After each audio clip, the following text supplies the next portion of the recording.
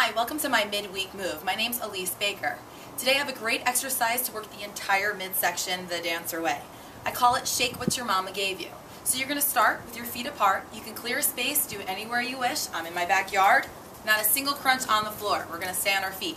Bend the legs, bring those arms up, engage the core, kind of make a muscle with your arms, then relax the fingertips. We're going to start with one option. First, I want you to drive the elbow towards the right side of your body, then go to the other side. Take your time. It's like a seesaw action, leaning side to side.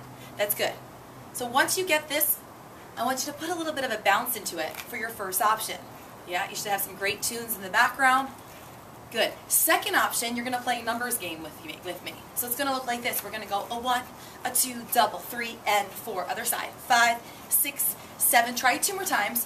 One, two. That's nice. Three and four. Come on. Pull the elbow to the hip. Third option, go for it. Go. boom, ah, ah. So the third option, you're just kind of sassing it up any way you want. See, now I'm doubling it up. Then I can go single, single, double. You can really play with the rhythms Boom, boom, double. Hey, hey, da, da, da. Keep practicing that.